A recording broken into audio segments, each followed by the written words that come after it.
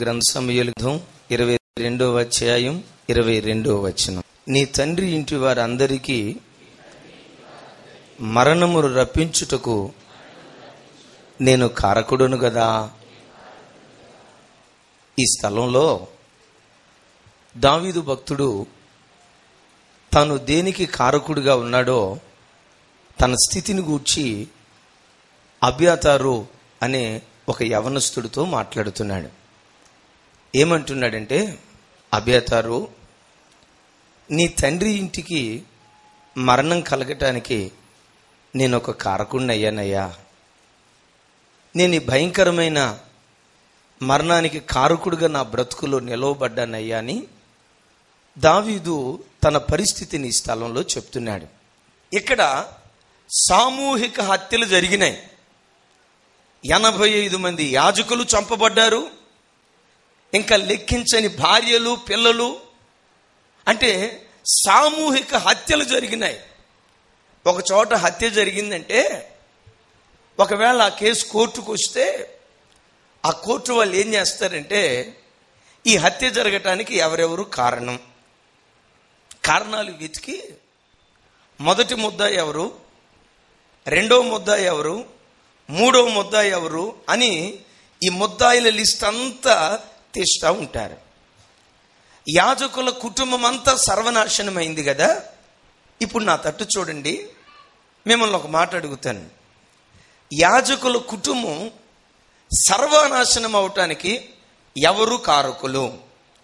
దావీదు కారకుడా? దోయగు కారకుడా?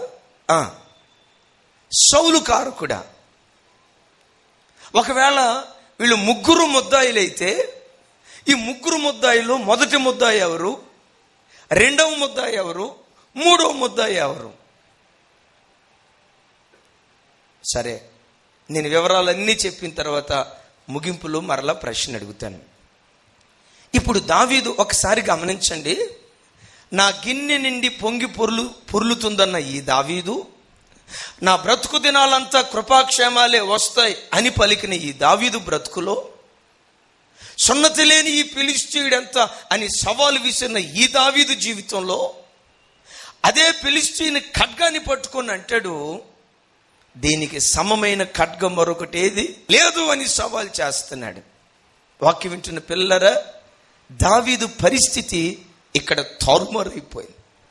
గిన్నె నిండి పొంగి పొరిలేటట్లుగా ఆశీర్వదించబడ్డ ఈ దావీదు పిడికడ అన్నం లేక మూడు దినాలు ఆకలి దప్పులతో అల్లాడిపోతూ ఎవరు ముద్దన్నం పెడతారని ముద్దన్నం కొరకు వెతుకుతూ వెతుకుతూ వెతుకుతూ అబద్ధాల ద్వారా అన్నాన్ని సంపాదించుకుందామని ప్రయత్నించాడు.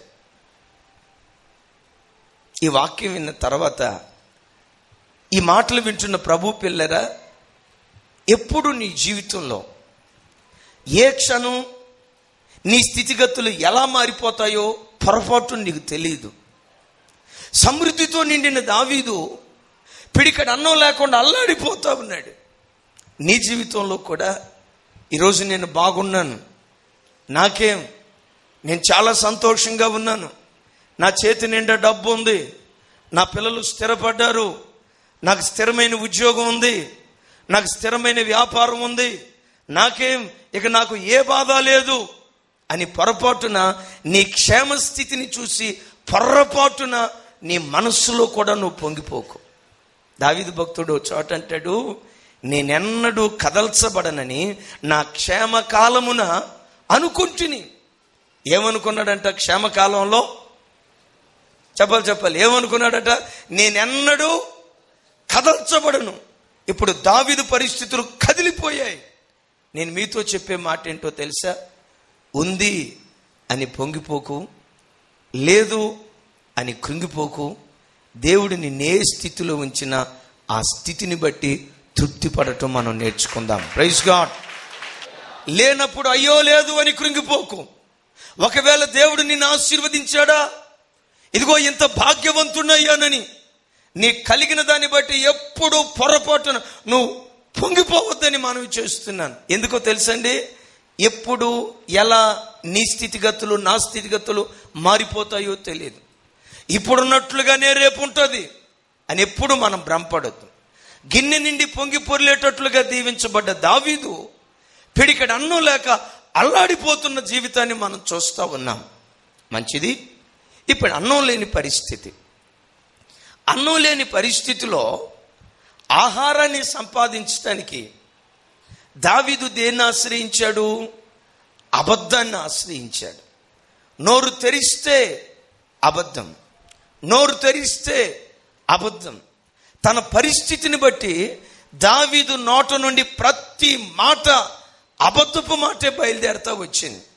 ఈరోజు వాక్యం వింటున్న ఆయన ఆయన పిల్లలరా ఒకవేళ నీ బ్రతుకు దినాల్లో నీ కుటుంబాన్ని పోషించుకోవటానికి నీ కుటుంబం యొక్క అవసరతలు తీర్చడానికి నీ పిల్లలను మంచి చదువులు చదివించడానికి డబ్బు సంపాదించడానికి ఒకవేళ నీ బ్రతుకులో అబద్ధాన్ని ఆశ్రయించి అబద్ధాల ద్వారా ధనాన్ని సంపాదించి మోసం చేసి ఎదుటివాడి కడుపు కొట్టి ఎదుటివాడికి మోసపు మాటలు చెప్పి మోసం ద్వారా ఒకవేళ ధనాన్ని సంపాదించాలని నువ్వు ప్రయత్నిస్తే అబద్ధం ద్వారా ఆహారాన్ని దావీదు సంపాదిస్తే అక్కడ మరణం విలయ తాండవమాడినట్లుగా లేఖనాల్లో మనం చూస్తూ ఉన్నాం.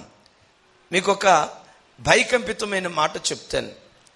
అబద్ధంతో నువ్వు ధనాన్ని సంపాదిస్తే ఎదుటివాడిని మోసం చేసి మోసంతో నువ్వు డబ్బు సంపాదిస్తే మోసంతో నువ్వు సంపాదించిన నీ డబ్బు నిన్ను నీ ఇంటిని ఏం చేస్తుందో ఓ భయకంపితమైన మాట మీకు జ్ఞాపకం చేస్తాను. చూడండి. సామెతల గ్రంథం ఇరవై ఒకటో అధ్యాయం ఆరవ వచనం. అబద్ధములాడి ధనమును సంపాదించుట దేనితో సాటి అంటండి అసలు పాత బైబిల్లో మీరు ఎవరైనా పాత బైబిల్ తెలిస్తే చూడండి. పాత బైబిల్ ఏమని ఉంటుందంటే అబద్ధములాడి ధనమును సంపాదించుట కొన ఊపిరితో సాటి అబద్ధములాడి ధనాన్ని సంపాదించాలని కోరుకునేవాడు మరణాన్ని కోరుకుంటాడంట. కొంచెం ఆలోచించండి. నీ బ్రతుకులో నీవెప్పుడైనా నీ ఉద్యోగ స్థలంలో కానీ నీ వ్యాపార స్థలంలో కానీ నీ కంపెనీలో కానీ అబద్ధాలాడి నువ్వు ధనాన్ని సంపాదిస్తే అబద్ధాలాడి నువ్వు సంపాదించే ధనం సుమి నీ ప్రాణంతో చలగాటమాడుతుంది జాగ్రత్త. ఎక్కడైనా పొరపాటున అబద్ధాలాడి దేని నువ్వు సంపాదించిన నువ్వు సంపాదించిన డబ్బు నీ ఇంటికి వచ్చిన తర్వాత నీ ప్రాణముతో చనగాలాటది ఆ ధనం నీ ఇంటికి వచ్చిన తర్వాత అనుక్షణం నీ ఇంటిలో వినబడే శబ్దాలు ఏంటో తెలుసా? చావాలి. చావాలి. నీ ఇంటిలో మరణాన్నే నువ్వు కోరుకుంటావు కానీ అక్రమంతో నువ్వు సంపాదించిన డబ్బు ఏ ఒక్క నాటికి నీ బ్రతుకులు నీకు నెమ్మదిని ప్రసాదించలేదని దయచేసి నువ్వు గమనించు. అబద్ధాలాడి ఇస్కరియోతు యోధ ధనాన్ని సంపాదించాడు. నేను అడుగుతాను అబద్ధాలాడి ధనాన్ని సంపాదించిన యోధ బ్రతికాడా చచ్చాడా? సహోదరుడా సహోదరి ఈరోజు వాక్యం వింటున్న నీ బ్రతుకులో నీ భర్త సంపాదించేది నీతియుక్తమైన సంపాదన కాకపోతే మరణం నీ ఇంటిలో విలయ తాండవమాడుతుంది జాగ్రత్త. నీ భార్య సంపాదించే సంపాదన నీతియుక్తమైన సంపాదన కాకపోతే నీ పిల్లలు సంపాదించే సంపాదన అది కష్టార్జితం కాకపోతే ఎదుటివాడికి మాయ మాటలు చెప్పి ఎదుటివాడిని మోసం చేసి ఎదుటివాడిని మభ్యపెట్టి అక్రమంగా నీ ఇంటిలో ఎవరైనా ధనాన్ని సంపాదిస్తే ఆ అక్రమ ధనం ఎక్కడుంటుందో ఆ స్థలంలో మరణం విలయ తాండవం ఆడుతుంది జాగ్రత్త. ఈరోజు ప్రజలు ఎలా అంటే ఉదయం లేచింది మొదలుకొని రాత్రి పండుకునే వరకు ఒక ఆయన చెప్తాడు రోజుకొచ్చి మనిషి అంట మూడు వందల అబద్ధాలు ఆడతాడంటండి. ఒక్క రోజుకొచ్చి ఒక్క రోజుకొచ్చి మూడు వందల అబద్ధాలు చిన్నతనం మొదలుకొని ప్రాణం పోయే ఆఖరి క్షణాల వరకు ప్రజలు అబద్ధాన్ని నమ్ముకొని అబద్ధాన్ని ఆధారం చేసుకొని బ్రతుకుతున్నారు. ఆ మధ్య ఒక పిల్లోడు స్కూల్కి వెళ్ళకపోతే రెండు రోజులు బట్టి స్కూల్కి రావట్లేదని వాళ్ళ క్లాస్ టీచర్ అసలు వీడు ఎందుకు రావట్లేదు పలకరిద్దామని ఆ ఇంటికి వస్తున్నాడు. ఈ లోపు వాళ్ళ తాతయ్య చూశాడు. ఒరే మనవడా మనవడా మీ క్లాస్ టీచర్ వస్తున్నాడ్రా నువ్వు స్కూల్కి ఎందుకు రావట్లేదు? నిన్ను అడుగుతాడ్రా. నా మాటిని నువ్వెక్కడో ఏదో ఒక మూల దాక్కోరా. నేను ఏదో రెండు మాటలు చెప్పి మీ టీచర్ని పంపిస్తాను. వరే మనవడా దాక్కోరా అన్నాడంట. ఆడంటాడంట తాతయ్య దాక్కోవలసింది నేను కాదు తాతయ్య. నువ్వే దాక్కోవాలి తాతయ్య అన్నాడంట. రై స్కూల్కు బాందు నువ్వురా. నువ్వు స్కూల్కు పోకపోతే నేను ఎందుకు దాక్కోవాలరా? నేనెందుకు దాక్కుంటా? నువ్వు దాక్కోపోయి. మరలా అంటాడంట తాతయ్య దాక్కోవలసింది నేనుగా తాతయ్య. నువ్వే దాక్కో తాతయ్య. నువ్వే దాక్కో తాతయ్య అంటున్నాడంట. రై నేను దాక్కుంటే దాక్కుంటా కానీ ఎంతకు నేనెందుకు దాక్కోవాలరా అన్నాడంట. తాతయ్య నిన్న మా టీచర్ గారు ఎదురయ్యాడు. ఒరే స్కూల్కి ఎందుకు రావట్లేదురా అని అడిగాడు. నేనేం చెప్పానో తెలుసా? మా తాతయ్య చచ్చిపోయాడు.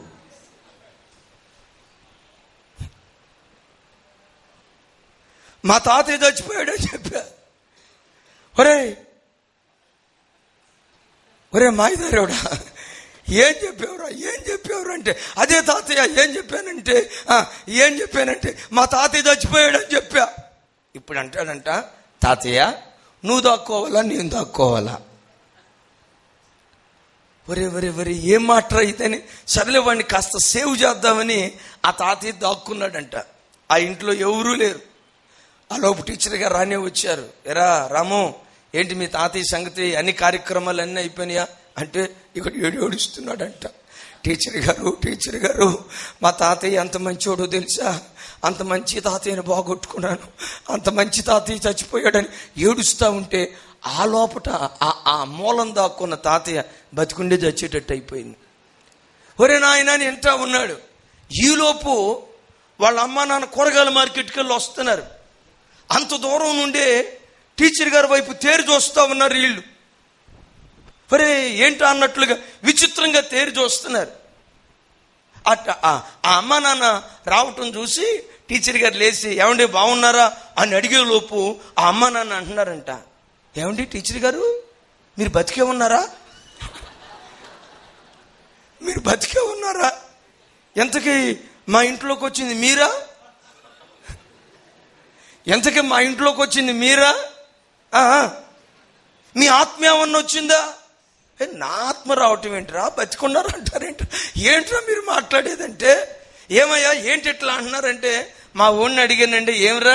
క్లాస్కి వెళ్ళట్లేదంటే నానా మా క్లాస్ టీచర్ గారు చచ్చిపోయాడు. దేవుని పిల్లలరా నీ బ్రతుకులో అబద్ధాన్ని నమ్ముకొని అబద్ధాన్ని ఆధారం చేసుకుని అబద్ధంతో నీ జీవితాన్ని నువ్వు కొనసాగిస్తే అబద్ధాలాడేవో మనుష్యుడా. ఆ తర్వాత ప్రభు సన్నిధిలో మోకరించి నీవు ఏ ప్రార్థన చేసినా నువ్వు గుండెలే బాదుకో. అయ్యా నేను ఈ స్థితిలో ఉన్నాను నన్ను కాపాడువని నువ్వు రొమ్ము కొట్టుకొని ఏడ్చినా నా దేవుని వాక్యం అంటుంది అబద్ధమాడు పెదవులు యహోవాకు హేయం. నువ్వు ప్రార్థన చేస్తే హేయుడా నీ ప్రార్థన ఆపు. నీ ప్రార్థన నేను వినను. నీ మొర నా దగ్గరకు రానివ్వను. దేవుడు చోట అంటాడు నీవు ప్రార్థన చేసేటప్పుడు నా చెవులు గట్టిగా నా చెవులు గట్టిగా మూసుకుంటాను. నువ్వు ప్రార్థన చేసేటప్పుడు నాకు వినపడకుండా నేను చూడకుండా నా కన్నులు చెవులు మూసుకుంటాను అంటున్నాడు. సరే దేవుడు నీ ప్రార్థన వినకపోతే వినకపోయాడు. అబద్ధాలాడి సంపాదించిన నీవేమైనా క్షేమంగా బ్రతుకుతావా? సామెతల గ్రంథం పదో అధ్యాయం పదహారవ వచనం. నీతిమంతుని కష్టార్జితము జీవదాయకము భక్తిహీనునికి కలుగు వచ్చుబడి పాపము పుట్టించు నీతిమంతుని వచ్చుబడి జీవదాయకం భక్తిహీనుని వచ్చుబడి పాపం పుట్టించును అని అనలేదు భక్తుడు అక్కడ. ఇక్కడ ఏమని రాసి ఉంటుందంటే నీతిమంతుని కష్టార్జితం జీవదాయకం భక్తిహీనుని వచ్చుబడి పాపం పుట్టిస్తుంది. భక్తిహీనుడి కంట వచ్చి పడతానే ఉంటాయి. కుప్పలు కుప్పలు పడతానే ఉంటాయి. కట్టలు కట్టలు పడతానే ఉంటాయి. బీరువాలు జరిపి ఒక లాకర్లో పెట్టుకోవాలి. ఒక బ్యాంకులో జరిపి ఒక పది బ్యాంకుల్లో పెట్టుకోవాలి. భక్తిహీనుడికి వచ్చుబడి వచ్చి పడతానే ఉంటాయి. కానీ నీతిమంతుడు ఉన్నాడు అనుకోండి వాడు అబద్ధాలు ఆడడు మోసం చేయుడు కపట మాటలు చెప్పడు. ఇప్పుడు వాడు బ్రతకాలంటే ఏం చేయాలి? చెప్పాలి. కష్టపడాలి. మరి ఇది కష్టపడాలంటే కష్టపడితే రోజుకి ఎంత వస్తుంది? రెండు వందలు మూడు వందలు నాలుగు వందలు ఐదు వందలు ఇక అంతకు మించి రాదు. నెలంతా తిరిగేస్తే పదివేలు పదిహేను వేలు కంటే ఎక్కువ రాదు. భక్తిహీనుడు ఉన్నాడు చూసారా? కట్టల కట్టల కట్టల కట్టలు పడతానే ఉంటాయి. మీరేం చేస్తారంటే అమలరా వినండి. ఆ భక్తిహీనుడు డబ్బు సంపాదించి ఆస్తిపాస్తులు కూడగట్టుకొని మేడ మీదలు కట్టుకుంటా ఉంటే కారులు బంగ్లాలు కొంటా ఉంటే మీరు చూసి అంటారు. అదిగో చూడు. ఆ సామియలు చూడు ఎంత సంపాదించాడు? ఈ ఎబినేజర్ చూడు ఎంత సంపాదించాడు? ఆ సుధాకర్ చూడు ఎంత సంపాదించాడు? ఆ యేసురత్నం చూడు ఎంత సంపాదించాడు? ఈ పరంజ్యోతి చూడు ఎంత సంపాదించాడు? నువ్వెప్పుడు సంపాదిస్తావు మా కొరకు? ఇక మా బ్రతుకంతా సైకిలేనా? ఇక మా బ్రతుకంతా కాలినడకేనా మా బ్రతుకంతా ఆటో మీద నడవటమేనా? మన బ్రతుకులో కారు ఎప్పుడు కొంటాం? ఇప్పుడు మీ భర్త కారు కొనాలంటే ఇక వచ్చుబడి కలిగేటట్లుగా ఎవరినో మోసం చేయాలి? నేను నీకు చెప్పే మాట ఏంటో తెలుసా? నీ బ్రతుకు దినాల్లో నీ భర్త నీతిగా సంపాదిస్తే ఆ నీతియుక్తమైన సంపాదనతో నీ ఇంటిలో కారపు మెతుకులే నీకు మిగిలితే ఆ కారపు మెతుకులతో నువ్వు తిను పరలోకంలో నువ్వు భాగ్యవంతుడి అవుతావు. హెలలోయ గట్టిగా చెప్తాం హెలలోయ ఎప్పుడు నీ బ్రతుకులో ఎవ్వరితో నువ్వు పోటీ పడద్దు? నేను చెప్పే మాట నిన్ను దేవుడు ఏ స్థితిలో ఉంచాడో ఆ స్థితిని బట్టి తృప్తి పడటం నువ్వు నేర్చుకో.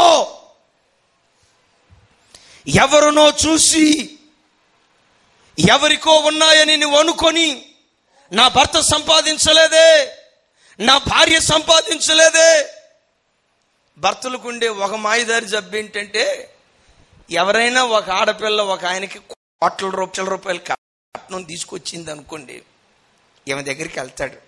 డైరెక్ట్గా అడగడు. నీకు తెలుసా? ఆ అమ్మాయి అంట ఆ అమ్మాయి అంట యాభై లక్షల కట్నం తెచ్చిందంట.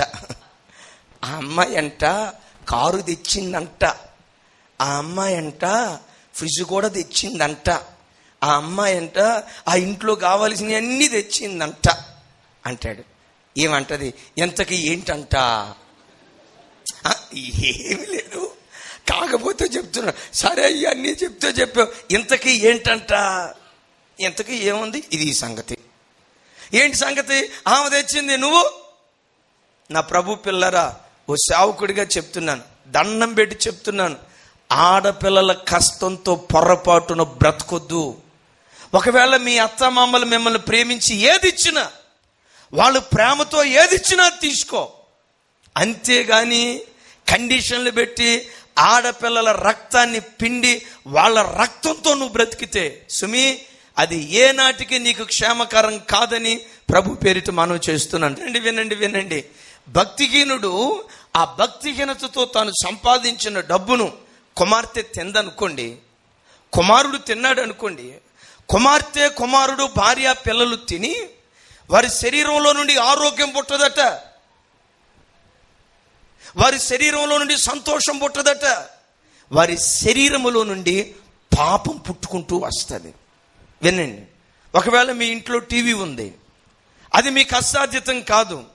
ఎక్కడో మోసం చేసి ఎవరినో అన్యాయం చేసి ఎక్కడో మాయ మాటలు చెప్పి ఆ పదివేల రూపాయల ఖరీదైన టీవీ నీ ఇంట్లోకి తెచ్చావు. నువ్వు పొరపాటున సినిమాలు చూసే వ్యక్తివి కాదు. నీ పిల్లల్ని నువ్వు సినిమాలు చూడనివ్వు. కాకపోతే అప్పుడప్పుడు టీవీ నైన్ వార్తలు సాక్షి వార్తలు అప్పుడప్పుడు వార్తలు చూస్తూ ఉంటావు. నీ పిల్లలు కూడా వార్తలు చూస్తూనే ఉంటారు. నువ్వు వార్తలు చూద్దామని అలా టీవీ ఆన్ చేస్తావు. వార్తలు ఒక రెండు నిమిషాలు అయిన తర్వాత ఏమొస్తుందండి? ప్రకటనలు వస్తాయి.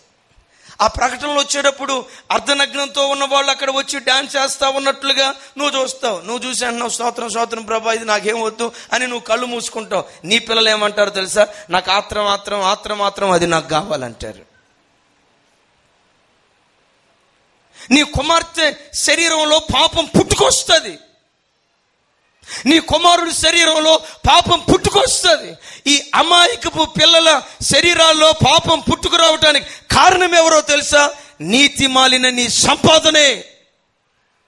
నీతి లేని నీ కష్టార్జితమే.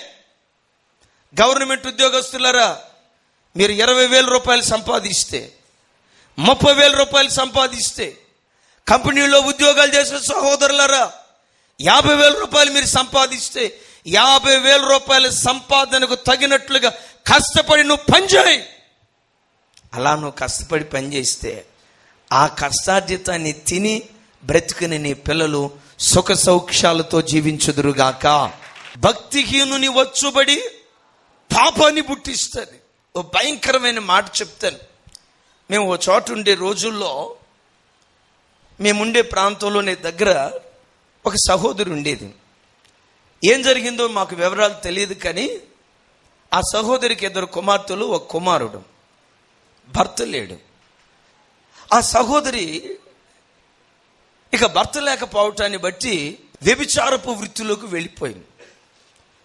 కొంతకాలం తర్వాత మాకు తెలిసి నేను పాస్టర్ గారు వెళ్ళి ఆమె కొరకు ప్రార్థన చేసి అమ్మా దయచేసి ఈ కార్యాలు వద్దు. ఎందుకమ్మా నువ్వు ఇలా చేస్తున్నావంటే ఆ తల్లి చెప్పిన మాట ఏడుస్తూ అయ్యా ఇది నీతి మాలిన పని అని నాకు తెలుసు. కానీ ఈ వృత్తిలోకి నేను ఎందుకు దిగానో తెలుసా? నా పిల్లల కోసం అయ్యా. నా పిల్లల కోసం తప్ప నా శరీర సుఖ సౌఖ్యాల కొరకు మరో దాని కొరకు ఈ కార్యక్రమంలోకి నేను వెళ్ళలేదు. ఇక ఈ మార్గం తప్ప నాకు వేరే మార్గం లేదయ్యా. నా పిల్లలను పోషించుకోవటానికి ఈ పని చేస్తున్నానయ్యా. అంది నాకు అప్పుడు ఈ వాక్యం జ్ఞాపకం వచ్చి అమ్మా నీవిలా నీతిమాలి డబ్బు సంపాదించి ఆ డబ్బుతో నీ పిల్లలను పోషించుకుంటూ ఆ డబ్బుతో నీ పిల్లలను చదివించుకుంటే నీ పిల్లలు ప్రయోజకులు అవుతారా నీ పిల్లల్లో పవిత్రత పుట్టుకొస్తుందా? పాపం పుట్టుకొస్తుందా? ఏమో నాకు అంత జ్ఞానం లేదండి. ఏమో తర్వాత ఏమైందో నాకు తెలియదండి అని మేము విన్న చెప్పిన మాటలు విని పాపం ఆ బిడ్డ తన పరిస్థితిని బట్టి తృణీకరించింది. దేవుని పిల్లరా ఒక్క నాలుగైదు సంవత్సరాలు గడిచిన తర్వాత వాళ్ళ పెద్ద పాప పద్నాలుగు పదిహేను సంవత్సరాల వయసు వచ్చింది. పద్నాలుగు పదిహేను సంవత్సరాల వయసు వచ్చిన తర్వాత ఆ తల్లి ఒకరోజు ఏడ్చుకుంటా మా దగ్గరకు వచ్చింది. ఏంటమ్మా? అన్నాను. ఆ తల్లి చెప్తుంది అయ్యా నేను ఏ వృత్తిలో ఉన్నానో నాకు తెలియకుండానే నా కూతురు కూడా అదే వృత్తిలోకి వెళ్ళిపోయింది. నేనే వృత్తి చేస్తూ బ్రతికాను. నేను అప్పుడు చెప్పానమ్మా ఇప్పుడు నేను బాధ పెట్టే సమయం కాదు కానీ కానీ నీకు ఒక మాట చెప్తున్నాను. నీకేం చెప్పాను? భక్తిహీను నీ సంపాదన. పాపం పుట్టిస్తుందని వాక్యంలో రాయబడిన మాట నీకు జ్ఞాపకం చేస్తాయి కదా? నేను ఏది చెప్పాను. నిజమమ్మా భక్తిహీనతతో సంపాదించే సంపాదన అక్రమంగా సంపాదించే డబ్బు ఆ డబ్బు నీ పిల్లలు తింటే వాళ్ళల్లో పాపం పుట్టుకొస్తుంది మరణాపేక్ష ప్రారంభమవుతుంది. నేను ఆ రోజు చెప్పే కదా ఏడ్చి ఏడ్చి ఏం చేయగలను? పాస్టర్ గారు నా తల్లి వెళ్ళిపోయింది. నా దేవుని పిల్లలరా ఒక్కసారి నా తట్టు చూడు. ఈరోజు నీవు కష్టపడి సంపాదిస్తున్న నీ డబ్బు నీ పిల్లలు తింటున్నారా? మాయ మాటలు చెప్పి మోసపు మాటలు చెప్పి అక్రమపు మాటలు చెప్పి ఎదుటివాడిని మభ్యపరిచి అన్యాక్రాంతంగా సంపాదించే డబ్బు నీ పిల్లలు తింటున్నారా? కష్టార్జితంతో నీ పిల్లలను పోషిస్తే వారి గుండెల్లో నుండి నీతియుక్తమైన మనసు పుట్టుకొచ్చునుగాక.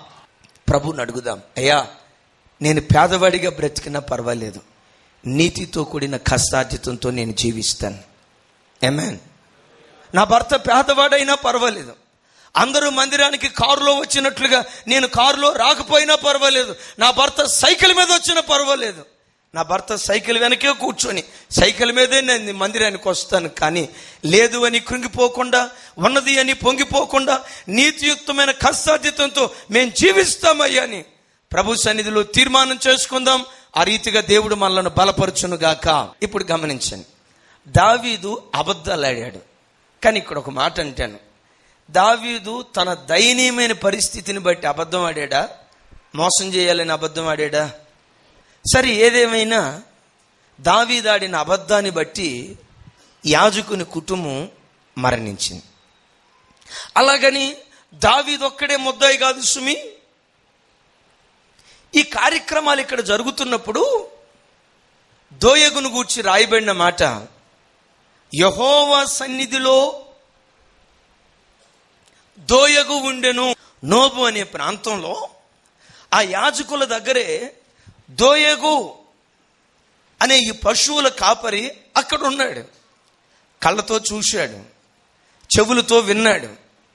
తాను అనుమానపడి లేనిపోయిన వాటిని ఊహించుకొని గమనించండి ఈ సమాచారం తీసుకొని సౌలు దగ్గరికి వెళ్ళి దావీదు అహిమెలేకు మీద కొండాలు చెప్తున్నాడు.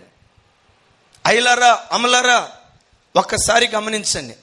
సంఘంలో కానీ కుటుంబ వ్యవస్థలో కానీ ఓ పరిచర్యలో కానీ కొండెగాళ్ళ ద్వారా ఎంత ప్రమాదం ఉందో గమనించండి. వీడు కళ్ళతో చూసింది వాస్తవం కాదది. సౌలును చంపటానికి అగిమేలేకు దావీదుకు ఖడ్గానివ్వలేదు ఇంతకు మీరు అనొచ్చు అయ్యా దావీదు ఎందుకు ఖడ్గాన్ని అడిగాడు? నేను అనుకుంటాను దావీదు ఎడారిలో ఉంటాడో కొండల్లో ఉంటాడో గుహల్లో ఉంటాడో ఏ ప్రాంతంలో ఉంటాడో తెలియదు కొన్నిసార్లు ఖడ్గ మృగాలు ఆయనకు ఎదురవుతూ ఉన్నాయి. మరికొన్ని పర్యాయాలు అడవి మృగాలు ఆయనకు ఎదురవుతూ ఉన్నాయి. వాటిని చంపడానికి ఏ ఆయుధం లేక నిస్సహాయ స్థితిలో అనేక సార్లు ఒకవేళ దావీదుండేవాడేమో తన ర- సంరక్షణ కొరకు ఖడ్గాన్ని అడిగి ఉంటాడు. కానీ ఈ వ్యక్తి చెప్పిన మాట ఏంటో తెలుసా? కొండెగాడు. ఎక్కడ మాట అక్కడ చెప్పేవాడు. అక్కడ మాట ఇక్కడ చెప్పేవాడు. ఇద్దరి మధ్యలో గొడవలు పుట్టించేవాడు. ఇద్దరి మధ్యలో కలహాన్ని పుట్టించేవాడు. కొండెగాడు. ఈ కొండెగాడు సౌలు దగ్గరకు వచ్చి చెప్తున్నాడు అయ్యా సౌలో నువ్వు అమాయకుడిగా మూలను కూర్చున్నావు. సమాచారం ఏంటో తెలుసా? అగిమేలేకు దావీదు కలిసి నీకు నాశనం కలుగు చేయబోతున్నారయ్యా. నీ సింహాసనాన్ని కోల్చబోతున్నారయ్యా. నువ్వు జాగ్రత్తగా ఉండకపోతే అయ్యా నీ సింహాసనం ఏమైపోద్దునని నాకు ఒకటే దిగులయ్యా అని ఏడవటం ప్రారంభించాడు. దేవుని పిల్లలరా ఈ కొండాలు చెప్పి చెప్పి చెప్పి చెప్పి సౌలును రెచ్చగొడుతూ ఉన్నాడు. సహోదరులరా ఈరోజు దైవ సేవకుడిగా మిమ్మల్ని అడుగుతున్నాను. మీలో ఎవరైనా అట్టి కొండగాళ్ళు ఉన్నారా? ఇద్దరి మధ్యలో అసమాధానం పుట్టడానికి ఇద్దరి మధ్యలో అనైక్యత పుట్టడానికి ఓ కుటుంబంలో కలహాలు రాగటానికి ఒకవేళ నువ్వు కారకుడివేమో జాగ్రత్త. కొండెగాళ్ళను గూర్చి లేఖనం ఏమని సెలవిస్తుందో తెలుసా? చూడండి సామెతల గ్రంథం ఇరవై ఆరో అధ్యాయం ఇరవయో వచనం నుండి ఇరవై రెండో వచనం వరకు. కట్టెలు లేని ఎడల అగ్ని ఆరిపోవును కొండెగాడు లేని ఎడల జగడము చల్లారును. ఆహా! వేడి బూడిదకు బొగ్గులు అగ్నికి కట్టెలు అగ్నికి కట్టెలు కలహములు పుట్టించుటకు కలహప్రియుడు. కొండెగాని మాటలు రుచిగల పదార్థముల వంటివి ఆహా. అవి లోకడుపులోనికి దిగిపోవును. ఏ కడుపులో కంట? ఇక డైరెక్ట్గా శనపేగుల్లోకి దిగిపోతుంట. వినండి. కట్టెలు లేని యొడల అగ్ని ఆరిపోద్ది. కొండెగాడు లేని యొడల జగడం చల్లారుతా ఉంటుంది. ఈ కొండెగాడట గమనించండి కొండెగాడు అగ్నికి కట్టె ఎట్లాగో కలహానికి కొండెగాడు కూడా అమ్మ చెప్పాలి కలహానికి కొండెగాడు కూడా కలహానికి కొండెగాడు కూడా అట్లాగే తర్వాత అంటాడు వేడి బూడిదకు బొగ్గు ఎట్లాగో అగ్నికి కట్టెలెట్లాగో కలహానికి కొండగాడు కూడా అట్టివాడే. ఇప్పుడు మీరు అనొచ్చు. అన్న ఆడు కొండిగాడని మనకు తెలుసు కదా మీలో చాలామందికి తెలుసు. అందరూ గుర్తుపడతారు. కొండెగాడైనా మరి వాడి మాటలు మనం ఎందుకు వింటాం? విచిత్రం ఏమని రాసిందో తెలుసా? కొండెగాడి మాటలు రుచిగల భోజ్యములు. ప్రేస్తలాడ్ అందరూ చెప్పాలి ఏ భో- ఏ భోజ్యాలు? అది గట్టిగానండి. కొండెగాడి మాటలు ఎట్లుంటాయంటే సంఘాల్లో కొండేలు చెప్పే వాళ్ళ మాటలు కానీ కుటుంబాలు విచ్ఛిన్నం చెప్పే విచ్ఛిన్నం చేయటానికి కొండేలు చెప్పే వాళ్ళ మాటలు కానీ అవట గమనించండి. కాకరకాయల కూరలాగా ఉండదంట. చిక్కుడుగాయల కూరలాగా ఉండదంట. వాళ్ళ మాటలు ఎట్లుంటాయంటే బవాచీ బిర్యానీ లాగా ఉంటుందంట. ప్యారడైజ్ బిర్యానీ లాగా ఉంటుందంట. అసలు ఆ బిర్యానీని చూస్తేనే ఆవురు అంటా ఉంటుంది నోరు ఓరుతా ఉంటుంది కదా. ఇక బిర్యానీ ఓపెన్ చేయక మునిపే. ఇక నవిలేదే ఉండదండి. మింగుడు ఏనండి? నవిలేదే ఉండదు. మింగుడు సాక్షనే. ఎందుకు? కొండెగాడి మాటలు రుచిగల భోజ్యాలు. దిగటం దిగటం ఎక్కడికి దిగుతాయంట? పిల్లలారా నా మా నా తట్టు చూడండి. నా ప్రభు ఎదుడు చెప్తున్నాను. దోయగువలే మీ కొండెపు మాటల ద్వారా ఏ కుటుంబమైన విచ్ఛిన్నమైనట్లుగా మీకు గుర్తొస్తే మీ కొండెపు మాటల ద్వారా ఎక్కడైనా ఎవరి మధ్య అయినా అది సంఘంలోనైనా మరో చోటైనా వివాదాలు కలిగినట్లుగా మీకు జ్ఞాపకం వస్తే నైనా ఈ కొండెపు బుద్ధి నుండి నాకు విడుదల కలిగించు. కొండెపు మాటలు చెప్పే ఆ వ్యక్తిత్వం నుంచి నాకు విడుదల కలిగించని ప్రభు ఎదుట మనం కోరుకుందాం గాక. ఎట్లా కొండాలు విచ్ఛిన్నం చేస్తాయో చెప్తాను. నేను ఒక ఐదారు సంవత్సరాల క్రితం విన్న సంగతి. విషయం ఏంటంటే ఆ అత్తింటి వారు చాలా దేవుని కృపను బట్టి భాగ్యవంతులు. ఆ కోడలను కూడా చాలా చక్కగా చూసుకునేది. ఓ మంచి అపార్ట్మెంట్లో ఉండేవాళ్ళు. ఒకరోజు మధ్యాహ్నం ఈ వంట కార్యక్రమాలన్నీ అయిపోయిన తర్వాత ఆ అత్తగారు కాస్త బాల్కనీ దగ్గరకు వచ్చి నిలవబడింది. నిలవబడిన తర్వాత ఆ ప్రక్కనే పోర్షన్లో ఉన్న మరొక ఆవిడ కూడా వచ్చింది. ఏమని చూసింది? అక్కయ్య అక్కయ్య బాగున్నారా అంది. బాగున్నాం చెల్లెమ్మ అంది. అక్కయ్య అక్కయ్య కోడలు వచ్చింది. ఆ రెండు నెలలు అవుతుంది. కోడలు వస్తా వస్తా ఏం తీసుకొచ్చింది అని అడిగింది. ఇక పెళ్ళైందంటే ఇదే కదా. బంగారం పెట్టారా? గ్లాసు పెట్టారా? మెట్లు పెట్టారా? తాడు పెట్టారా? బీరువా పెట్టారా? ఫ్రిజ్ పెట్టారా? పరాన్న జీవులు. పెట్టారా? పెట్టారా అన్నారు. ఇవి ఇవన్నీ అడిగిన తర్వాత అందట అమ్మా మా కోడలు చాలా మంచిది. ఆమె మంచితనాన్ని చూసి భక్తిని చూసి మేమే కోరుకున్న అమ్మాయిని పెళ్ళి మా కొడుకు మేము పెళ్ళి చేశామమ్మా. అయితే వాళ్ళు పేదోళ్ళు వాళ్ళ నాన్న కూలీ నల్లి చేసుకుని ఆయన అయినా వాళ్ళలో ఉన్న మంచితనాన్ని బట్టి భక్తిని బట్టి ఆ అమ్మాయిని కావాలని నా ఇంటి కోడలుగా తెచ్చుకున్నానమ్మా వాళ్ళు పేదవాళ్ళు అని నేను చెప్పిందంట. ఈలోపు అవును అక్కయ్య గారు ఈ మధ్య మీ కోడలు అసలు బయటికి కనపట్లేదే అని అడిగిందంట. చూడండి ఈ కొండలు చెప్పేవాళ్ళు ఒక మాటని వదిలిపెట్టరు. గుచ్చి గుచ్చి లాగుతూ ఉంటారు.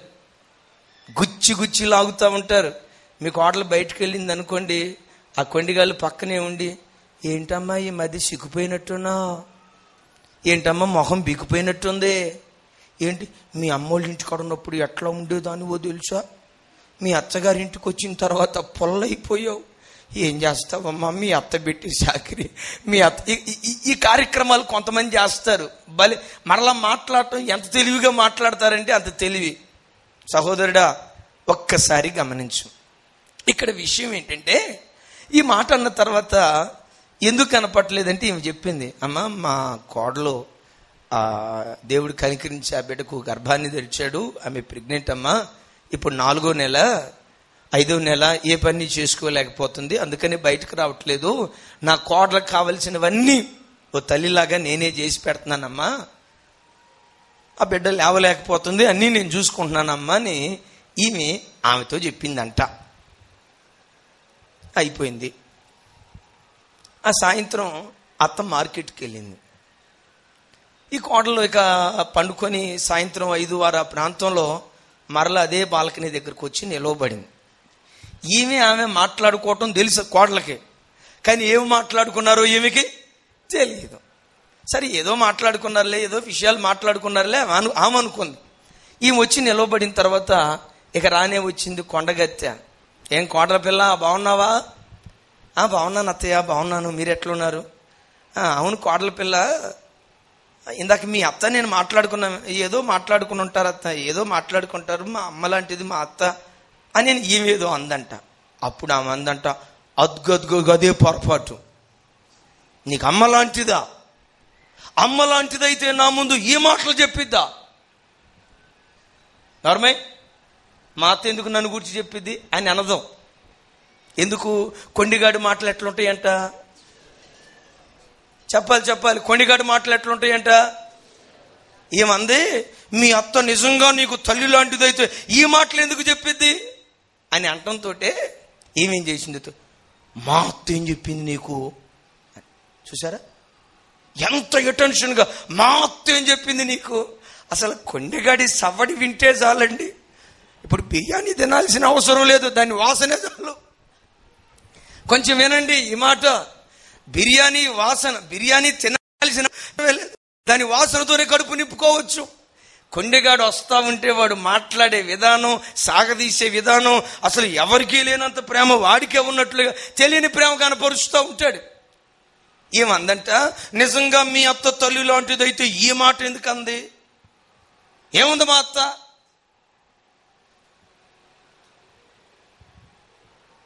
మీ అయ్య కూలి పని చేసుకునేవాడు అంటగా మీ అమ్మ కూలి పని చేసుకునేది అంటగా ఇంటికాడ తినటానికి తెకం తెకానం లేదు కానీ మా ఇంటికి వచ్చిన తర్వాత మహా టెక్కుపోతుంది మా కోటలో ఇంటికాడేమో తినటానికి తెకానం లేదు మీ నాన్న కూలి పనికి అవును. మా నాన్న కూలి ఈ విషయం చెప్పిందా మా అత్త? మా నాన్న కూలి పనికి వెళ్తాడని చెప్పి అవును చెప్పిందమ్మా. లేకపోతే మీ నాన్న కూలి పనికి వెళ్తాడని నాకేం తెలుసు? మీ అత్త ఏమందో తెలుసా? అది పూరింట్లో పుట్టి మట్టి పని చేసుకుని ఎక్కడికి వచ్చిన తర్వాత కాస్త మా అబ్బాయి సాఫ్ట్వేర్ ఇంజనీర్ అయిన తర్వాత మా అబ్బాయి యాభై ఆరు వేలు సంపాదిస్తున్న తర్వాత అక్కడ ఆ రీతికి బ్రతికిన మా కోడలు ఇక్కడికి వచ్చిన తర్వాత పెద్ద బడాయిపోతుంది దాని బొత్తుకి ఒక బీరువో కూడా తేలేదు ఇక కలిపింది కలిపి కొట్టుడు అంటారు చూసారా? కొండెగాలకి కలిపి కొట్టుడే. అసలు ఈ సెన్సార్ చేస్తారు? లేని కొత్త కొత్త మాటలు పుట్టిస్తారు. అందం మీ మీ అత్తమ్మ దాని బతుకు ఒక బీరువా తెచ్చిందా? ఒక గ్లాసు తెచ్చిందా? ఒక చెంబు తెచ్చిందా? ఒక తెపాల తెచ్చిందా? ఒక ప్లేట్ తెచ్చిందా? ఏమి తెచ్చింది అది? ఏమి లేకపోగా మన ఇంటికి వచ్చిన తర్వాత ఎంత టెక్కుపోతుందంటే అంత తెక్కుపోతుంది ఈ మాటలన్నీ అందా మా అత్త? అమ్మ అనకపోతే నేను ఎందుకు చెప్తానమ్మా? అయినా ఇవన్నీ నీకు ఎందుకు చెప్తున్నాను తెలుసా? నేను చూస్తే అచ్చం మా కూతురులాగే ఉన్నావమ్మా. కొండిగాడి మాటలు ఎట్లా ఉంటాయి? అక్కడ మాటలు ఇక్కడ చెప్పేవాళ్ళ మాటలు ఎట్లా ఉంటాయి? అచ్చం మా కూతురులాగే ఉన్నావమ్మా అందంట ఆ మాట అనేసరికి ఎంతకాలం నిన్ను అత్తయ్య అన్నాను? ఇక మా అత్తయ్యవ కాదు నువ్వే మాకు అమ్మ అందంట అమ్మా ఇంకొక మాట ఏమందో తెలుసా? మా కోడలు ఒట్టి సోమరిపోతు మనిషి. దాన్ని ఏమంటా మా ఇంటికి తెచ్చుకున్నాను. వచ్చినప్పటి నుంచి దీన్ని నేనే దానికి వండి పెట్టాలా నేనే వడ్డించాలా నేనే వరవాలా అన్నీ నేనే చేయాలి కానీ అది పొరపాటు చేసేది కదమ్మా. సోమరిపోద్ది. ఇంటికాడేమో ఊర్లో ఉన్నప్పుడు పొలం పనికి వెళ్ళేది. ఇక్కడికి వచ్చిన తర్వాత నడి మంచం తిరగదో నడి మంచం దిగదో పట్టపు రాణి. ఏ రాణి? అట్లా అందమా అత్త దాని పని చెప్తా. దేని పని? దాని పని చెప్తా. సాయంత్రం భర్త రానే వచ్చాడు. తొమ్మిదింటికి ఎప్పుడు వచ్చినా భర్త ఎదురుగా వెళ్ళి కాఫీ ఇచ్చేది మంచిగా బాలకరిచ్చేది. ఇప్పుడు భర్త వస్తే మొహం పుచ్చకాయ అంత లావు పెట్టుకుంది. ఏమైంది నీకు? ఏం కావాలా? ఏమైంది? పనికి మళ్ళీ ఏమైందే నీకు? నేను పేద్దానని ముందే చెప్పలేదా? మా నాన్న కూలి పనికి వెళ్తాడని ముందే చెప్పలేదా? మేము కట్నం దేవమనే సంగతి నీకు ముందే చెప్పలేదా? చెప్పేవే నేను కాదని దేవుడు నేనేం అనలేదే? ఇక గమనించాను ఈ కొండాలండి ఆ మహాతల్లి చెప్పిన ఒక్క మాట. ఆ చక్కటి అత్త కోడలను విడదీసి ఐక్యంగా ఉండే ఆ కుటుంబం వేరువేరైపోయేటట్లుగా. ఒక్కసారి గమనించండి ఆ చిన్న మాట రెండు కుటుంబాలను విడదీస్తే ఇప్పటికి ఆరు సంవత్సరాలు అవుతుందండి. ఎప్పటికీ ఆ అత్త కోడళ్ళు కలవనే కలవలేదు. కారకుడు ఎవరు? ఈ దోయగు కొండగాడు. కొండలు తీసుకొని వెళ్ళి చెప్పాడు. ఇప్పుడు మీరు ఆలోచించండి.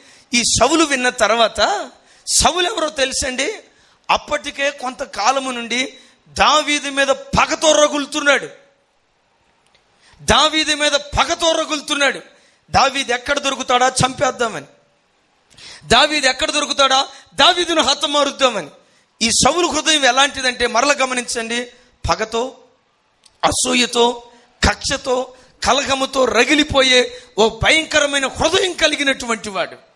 ఎప్పుడైతే దావీదుకు సపోర్ట్ చేస్తున్నాడన్న సంగతి తను తెలుసుకున్నాడో వెంటనే దోయగుతో చెప్తున్నాడు దోయ నీ వెళ్ళి అతని హతమార్చు అని చెప్తే మారు మాట మాట్లాడకుండా ఆ దోయగు ఖడ్గాన్ని తీసుకొని ఎనభై ఐదు మంది యాజకులను చంపి నోబు పట్టణములో ఉన్న స్త్రీలను పురుషులను పిల్లలను యవనస్తులను అందరినీ చంపి భయంకరమైన మారణకాండ సృష్టించటానికి సౌలు కారకుడయ్యాడు. మీరు ఆలోచించండి. సౌలుకు దావీదుకు మధ్యలో ఉన్న ఈ కలహాన్ని బట్టి ఈ యాజక వంశం మరణానికి కారణంగా మిగిలిపోయినట్లుగా లేఖనాల్లో చూస్తూ ఉన్నాం. సవులకు దావీదుకు మధ్యలో ఉన్న ఈ కలహం యాజకుల కుటుంబాన్ని పొట్టను పెట్టుకుంది. నా మాట మీరు గమనించండి. ఈరోజు వాక్యం వింటున్న ఆయన పిల్లలారా నా తట్టు చూడండి. ఈ వాక్యం వింటున్న నీ బ్రతుకులో నీకు నీ భార్యకు మధ్యలో సమాధానం లేకుండా ఎప్పుడు గొడవే ఎప్పుడు కొట్లాటే ఎప్పుడు వివాదమే చిన్నదానికి పెద్దదానికి అయిన దానికి కాని దానికి ఎప్పుడు నీ ఇంటిలో గొడవలు ఉంటే మీకు తెలుసా? భార్యాభర్తలు మీరు కొట్లాడుకుంటే మీ పిల్లల జీవితాలు నాశనం అవుతాయి జాగ్రత్త. సౌలు దావీదుల కలహం యాజకుల మరణానికి కారణమైనట్లుగా చూస్తూ ఉన్నాం. ఈరోజు ఈ వాక్యం వింటున్న నీ బ్రతుకులో నీ పిల్లలు పెరగటానికి మీరు మీ భర్త ఆహ్లాదకరమైన వాతావరణంలో ఒకవేళ పెరగకపోతే ఆ అసమాధానపు వాతావరణంలో నీ పిల్లలు పెరిగితే నీకు తెలుసా? వాళ్ళ భవిష్యత్తు నాశనం అవటానికి నీ ఒక కారకుడి అవుతావు. కొంచెం మనసు పెట్టి వినండి. దావీదు సవులు వీళ్ళ మధ్యలో ఉన్న ఈ కలహం ఈ వినాశనానికి కారణమైంది. నీ జీవితంలో నీ అహానికి పోయి నీ పంతానికి పోయి నేను అన్నదే జరగాలి. నేను అన్నదే నెగ్గాలి. నా మాటే గెలవాలని పంతానికి పోయి ఎప్పుడు నీ ఇంటిలో నీ భర్తతో నువ్వు కలహానికి కారణమైతే అమ్మా నా పిల్లలు నా పిల్లలు నా పిల్లలు నా పిల్లలని అల్లారు ముద్దుగా పెంచుకుంటున్నావే. నువ్వు పెంచిన ఆ కలహాన్ని చూస్తూ నీ పిల్లలు పెరగటాన్ని బట్టి యాదక కుటుంబం పతనమైపోయినట్లుగా నీ పిల్లల జీవితం నాశనం అవటానికి నువ్వు కారణమవుతావని ప్రభు పేరుతో మనవి చేస్తున్నాను. ఈ మధ్య ఒక సమాచారం విన్నాను. దైవ సేవకుడు ఆయన ఆయన ఏం చెప్తున్నాడంటే సరిగ్గా నాకు ఊహ వచ్చినప్పటి నుండి మా అమ్మకు మా నాన్నకు ఎప్పుడు పడేది కాదు. మా నాన్న మంచి ఉద్యోగస్తుడు. ఆ ఉద్యోగం చేస్తున్న దినాల్లో జీతం వచ్చిన పది రోజులే మా ఇంట్లో సంతోషం ఉండేది. ఇక పదో తారీఖు నుండి ముప్పయో తారీఖు వరకు మా అమ్మకు నాన్నకు ఎప్పుడు మధ్యలో కొట్లాట జరుగుతూ ఉండేది. ఆయన కన్నీళ్ళు విడుస్తూ చెప్తున్నాడు మా చిన్నతనంలో ఆ సాయంత్రం ఏదో తిందామని మా నాన్న ఏదో ఇంటికి తీసుకొస్తే మా అమ్మ వండిన తర్వాత తిందామనుకునే లోపు మా అమ్మకు మా నాన్నకు మధ్యలో గొడవ అయిపోయేది. వాళ్ళు తినకుండా పండుకునేవాళ్ళు. మేము కూడా ఇక అట్లాగే ఆకలి దప్పులతో అనేక రాత్రులు అన్నం తినకుండా పండుకున్న దినాలు మా జీవితంలో ఉన్నాయి. సహోదరుడా ఒక్కసారి నువ్వు గమనించు. నీ జీవితంలో పదే పదే నీ భార్యతో నువ్వు కలహపడితే నీ పిల్లలు ఎంత మదన పడతారో తెలుసా? నీ పిల్లలు ఎంత మనోవేదనకు గురి అవుతారో తెలుసా? నీ పిల్లలు ఎంత అల్లాడిపోతారో తెలుసా? ఎంత తెలియకుండా ఎంత మానసిక కృంగుదలకు వాళ్ళు గురి అవుతారో తెలుసా? వీళ్ళిద్దరి కలహం యాజకుల కుటుంబ వినాశనానికి కారణమైనట్లుగా చూస్తా ఉన్నాం. ఆ దైవ సేవకుడు చెప్తున్నాడు ఆ చిన్నతనంలో అలా పెరిగి పెరిగి ఇటు తండ్రి ప్రేమ దొరక్క అటు తల్లి ప్రేమ దొరక్క. స్కూల్ ఆ స్కూల్ ఏజ్లోనే చిన్న చిన్న దొంగతనాలకు కాలేజీలో చిన్న చిన్న దొంగతనాలకు నేను అలవాటు పడ్డాను. ఓ పర్యాయం భయంకరమైన గజ దొంగగా నేను మారి దొంగతనాలకు నేను వెళ్ళిపోయాను. నా దొంగతనాలను బట్టి ఓ పర్యాయం పోలీసు వాళ్ళు నన్ను పట్టుకొని జైల్లో పడేశారు. మా నాన్న మంచి ఉద్యోగస్తుడు. మా నాన్న మంచి సంపాదన పరుడు. అయినా నా బ్రతుకు నాశనం అవటానికి కారణం ఏంటంటే మా అమ్మ నాన్నల మధ్యలో ఉన్న గొడవే. పేరుకు భార్యాభర్తలే పేరుకు పెండ్లయింది. సమాజం చూస్తున్నప్పుడు చక్కగా ప్రక్క ప్రక్కనే నడుచుకుంటూ భార్యాభర్తలాగా వెళ్ళిపోతారు.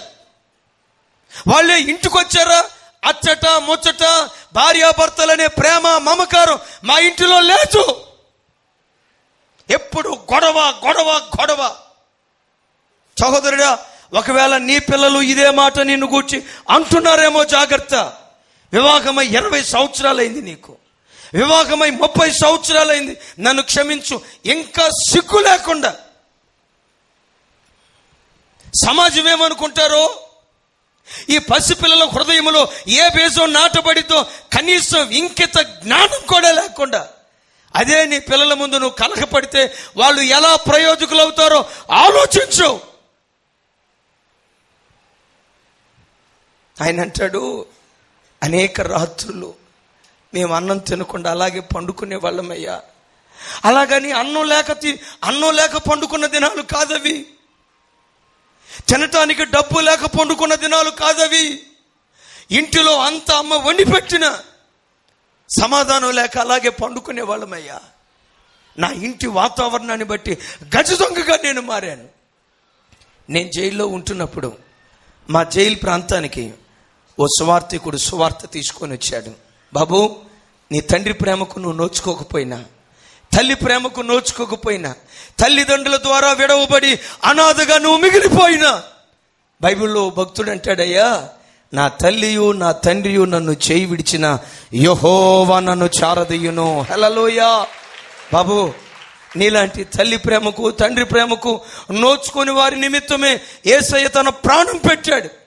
బాబు ఆయన దగ్గరికి రాయ్యా ఆయన ప్రేమను రుచి చూడయ్యా ఆయన వైపు తిరిగయ్యా అని జైల్లో ఉన్న నాకు సువార్త చెప్తే ఆ సువార్త విని నేను రక్షణ పొందాను. జైలుకు వెళ్ళేటప్పుడు దొంగగా వెళ్ళాను. జైల్లో నుంచి సువార్థికుడిగా బయటకు వచ్చాను హలలోయా ఈ తల్లి తండ్రి వల్ల నా జీవితం నాశనం అయిపోయింది కానీ పరలోకపు తండ్రి పరలోకపు తండ్రి ద్వారా పరలోకపు తండ్రిని బట్టి శిథిలమైపోయిన నా బ్రతుకులో నుండి ఒక వినూత్నమైన కార్యాలు నా దేవుడు జరిగించాడు. ఈరోజు వాక్యం వింటున్న ఆయన సహోదరులరా ఆయన పిల్లలరా గమనించండి.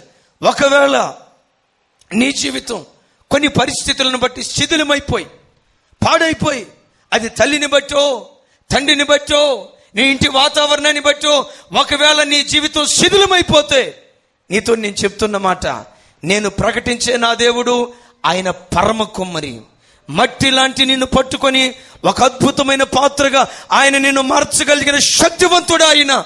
ఒకవేళ నువ్వు మట్టివే రూపం లేని వాడివే ఆకారం లేని వాడివే ఇది ఎందుకు పనికిరాదని ప్రజల చేత ఒకవేళ నువ్వు తొక్కబడుతున్నా నా దేవుడు ఎవరో తెలుసా?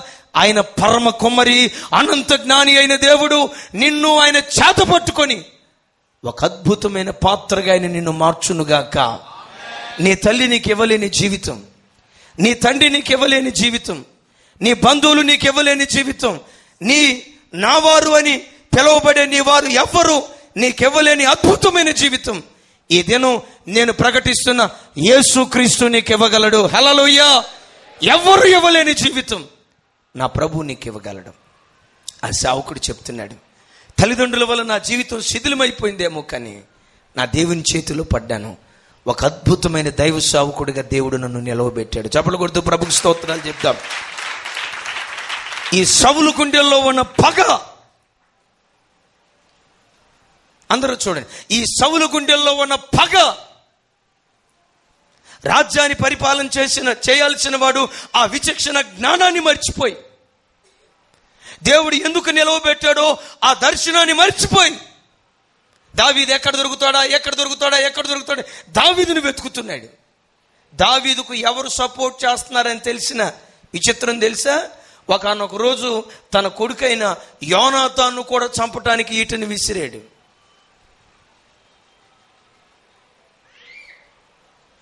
పాత్రలు పాత్రదారులు విన్నారు. ఈ మూడు పాత్రలు ఈ ముగ్గురు పాత్రదారుల ద్వారా యాజకుల వంశం అంతా నాశనం అయిపోయింది. ముగ్గురు కారకులే. ఈ కేసు ఒకవేళ కోర్టులో మనం పెడితే ఎంతసేపు విన్నారు కదా? ఇవన్నీ కూడా ఏంటంటే వాదోపవాదనలు. నేను చెప్పిన వాక్యం అంతా ఏంటంటే వాదోపవాదనలు. నేనే లాయరు ప్రతి లాయరా?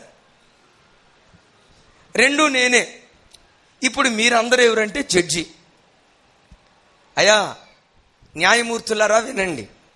వాదోపవాదనలన్నీ ఇప్పుడు జరిగాయి.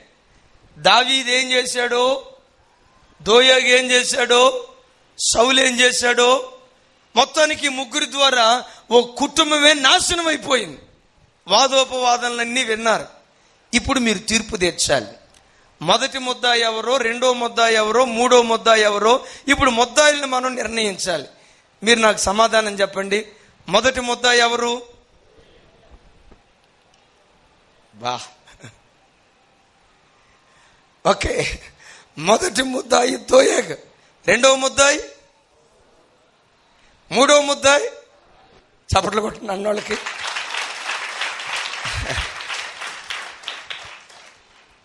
మీరే కనుక ఒకవేళ జడ్జి అయితే భారతదేశానికి చక్కటి న్యాయం దొరికిద్ది.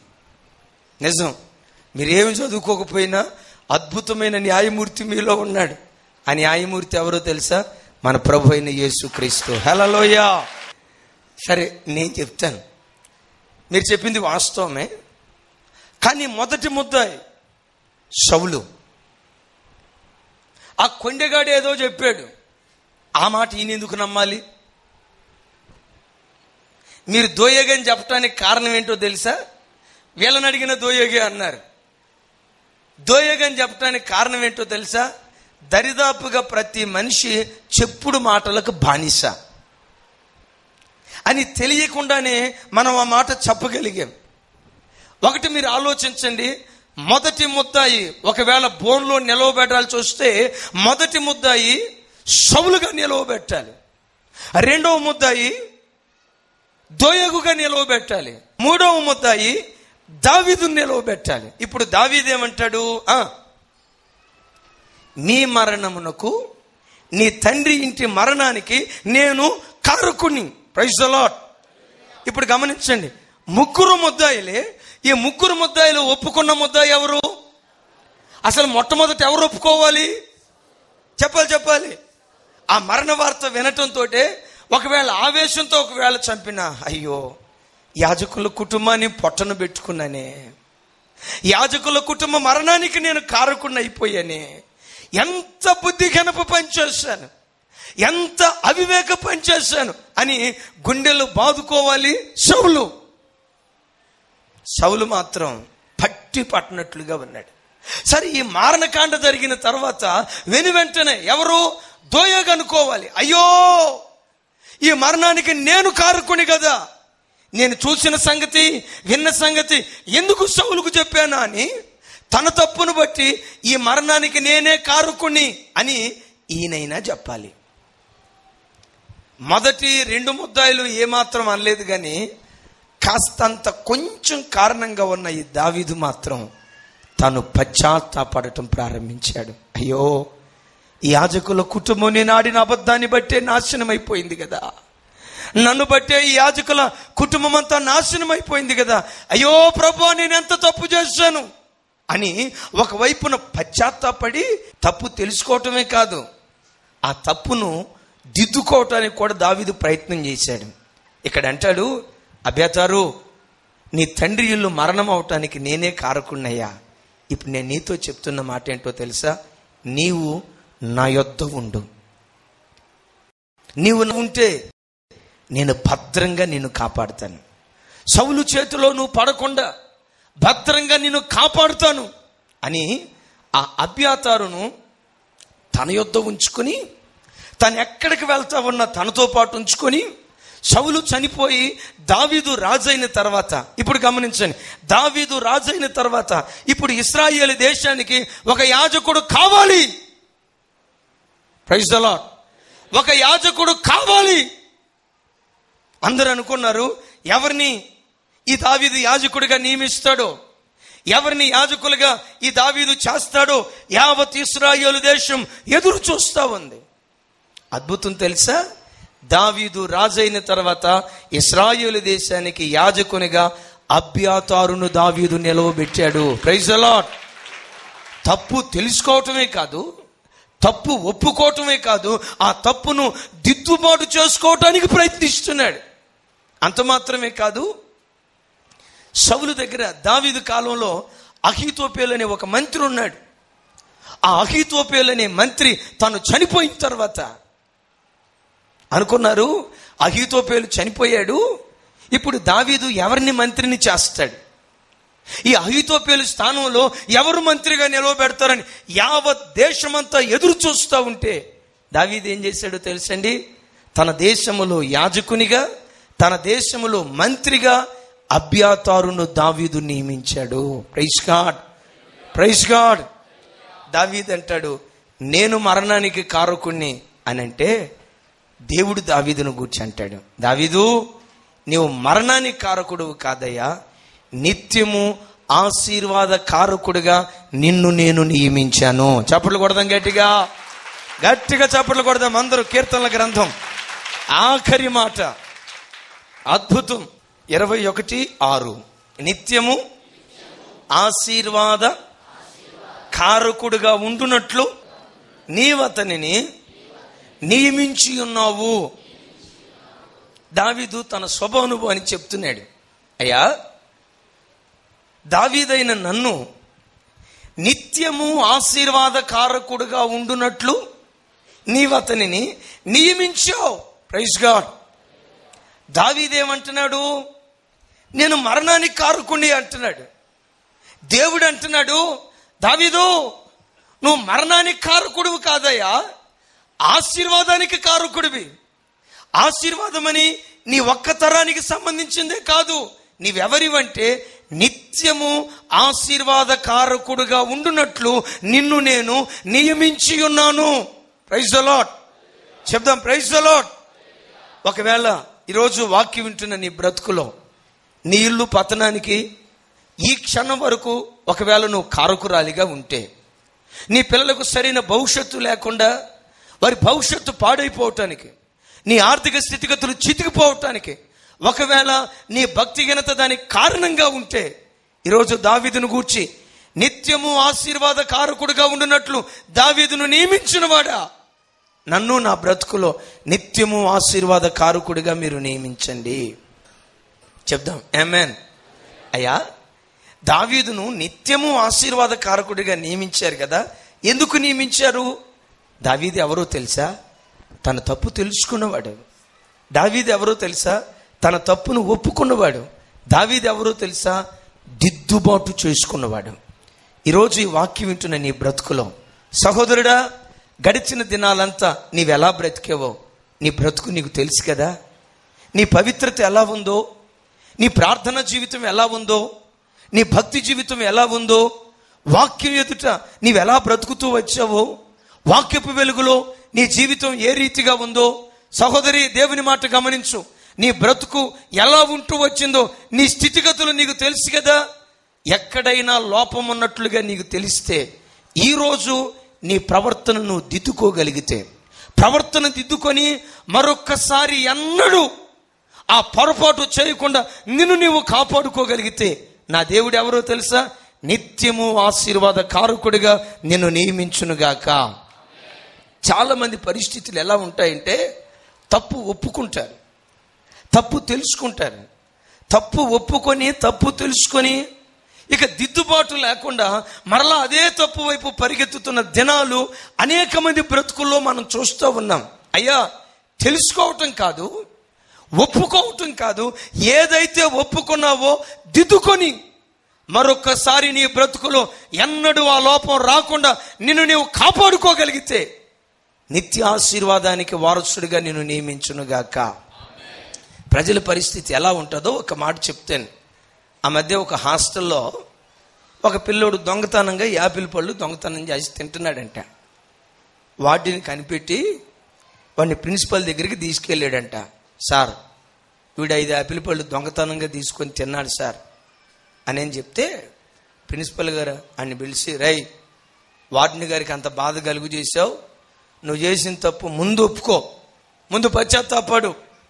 సారముందు నువ్వు చేసిన దొంగతనం ఒప్పుకొని పశ్చాత్తాపడు అని అన్నాడంట.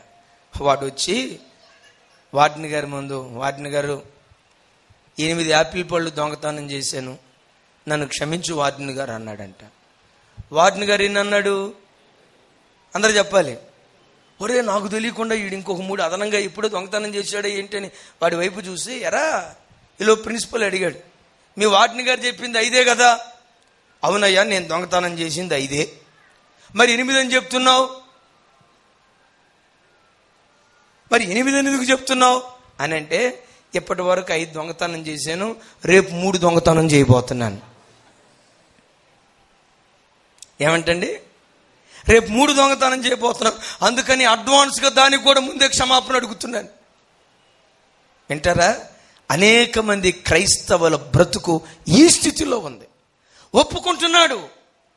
కానీ ప్రవర్తన దిద్దుకోలేని ఓ భయంకరమైన పరిస్థితి.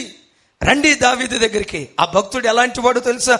దేవుని సన్నిధిలో ఒప్పుకొని అయ్యా నా వలన అభ్యాతారు కుటుంబానికి భయంకరమైన పరిస్థితి జరిగింది. నన్ను క్షమించయ్యని ప్రవర్తన దిద్దుకొని వారిని యాజకులుగా వారిని మంత్రులుగా నిలవబెట్టి ఆ కుటుంబ క్షేమానికి దావీదు ప్రవర్తన దిద్దుకొని కారణభూతుడయ్యాడు గనుక దేవుడు అంటాడు దావీదు నిత్య ఆశీర్వాదమునకు వారసుడుగా ఉండునట్లు నేను అతనిని చెప్పాలి చెప్పాలి. నేను అతనిని ఆశీర్వాద కారకుడిగా అది ఒక సంవత్సరం ఒక తరం కొన్ని తరాలకు కాదు తరతరాలు నిత్య ఆశీర్వాదానికి కారకుడిగా దావీదు నేను నిలవబెట్టాను. ప్రైస్లాట్ దావీదును బట్టి ఎరుషులేమి దేశం ఇప్పటికీ నిలిచింది. మూడు వేల సంవత్సరాల క్రితం వాడు దావీదు. ఎప్పటికీ ఎరుషలేం పట్టణం నిలిచిందంటే కారణం ఏంటో తెలుసా? హిస్కియాతో అంటాడు నా సేవకుడైన దావీదును బట్టి ఎరుషలేము నేను కాపాడుతానని. అంటే దావీదును బట్టి ఆ దేశం కాపాడబడుతూ వచ్చింది. భూమి మీద ఎప్పటికీ యోధా జాతి భూమి మీద బ్రతికే ఉంది. ఎందుకు బ్రతికుందో తెలుసా? దావీదును బట్టి. అంత మాత్రమే కాదు ఆ ఒక్క దావీదు ప్రపంచ దేశాలంతటికి నిత్య ఆశీర్వాద కారకుడయ్యాడు ప్రైజ్ లాట్ మీకు తెలుసా? ఆ దావీదు యొక్క ఆశీర్వాదం నేను ఇప్పుడు అనుభవిస్తున్నాను. ఆ దావీదు యొక్క ఆశీర్వాదం నీవు అనుభవిస్తున్నావు. ఆ దావీదు యొక్క ఆశీర్వాదం ప్రపంచంలో ఉన్న ప్రతి క్రైస్తవుడు అనుభవిస్తున్నాడు. మీరు అనొచ్చు అయ్యా దావిద ఆశీర్వాదాన్ని నేను ఎట్లా అనుభవిస్తున్నాను? నిత్య ఆశీర్వాద కారకుడిగా నేను అతన్ని నియమించి ఉన్నానని దావీదుని గురించి చెప్పాడు కదా. అదే దావీదులో నుండి మన ప్రభు అయిన యేసు క్రీస్తు వారు ఉద్భవించారు. ప్రైజ్ అలాట్ హెలలుయా అందరం చెప్దాం హెలలుయా ఆ ఒక్క యేసు క్రీస్తు ప్రభువారు ప్రపంచంలో ఉన్న నూట తొంభై ఎనిమిది దేశాలకు ఏడు వందల కోట్ల మంది ప్రజలకు పుట్టిన ప్రజలకు పుట్టబోయే ప్రజలకు రాబోవు ప్రతి తరానికి దావీదికి ఇచ్చిన వాగ్దానము ద్వారా ఆశీర్వాద కారుకుడిగా ఉన్నాడు. దావీదు ఎంత ధన్యుడు నువ్వు అవటానికి కారణం ఏంటి నా తప్పేంటో నేను తెలుసుకుంటానయ్యా. నా తప్పును ఒప్పుకుంటానయ్యా. ఒప్పుకోవటమే కాదు అందరూ ఒప్పుకుంటారు. దాన్ని ఒప్పుకొని నా ప్రవర్తన దిద్దుకుంటానయ్యా. ఆ మంచితనాన్ని నా దేవుడు చూసి నిత్యాశీర్వాద కారకుడిగా దేవుడు నియమించాడు. ఈ ప్రార్థనకు వచ్చిన తండ్రులరా ఆఖరి క్షణం నా తట్టు చూడండి. ఒక సేవకుడిగా మీ ఎదుట నిలవబడి నా చేతులు జోడించి దండం పెట్టి మీకు చెప్తున్నాను. మీ కుటుంబ ఆశీర్వాదానికి నువ్వు ఒక కారకుడిగా ఉండాలి. నీ కుమార్తెల ఆశీర్వాదానికి నువ్వు ఒక కారుకురాలిగా ఉండాలి. సంఘ ఆశీర్వాదానికి సంఘ విస్తరణకు ఈ స్థలములో ఉన్న ప్రతి బిడ్డ ఒక కారుకులుగా ప్రభు ఎదుట మనం జీవించుదుముగాక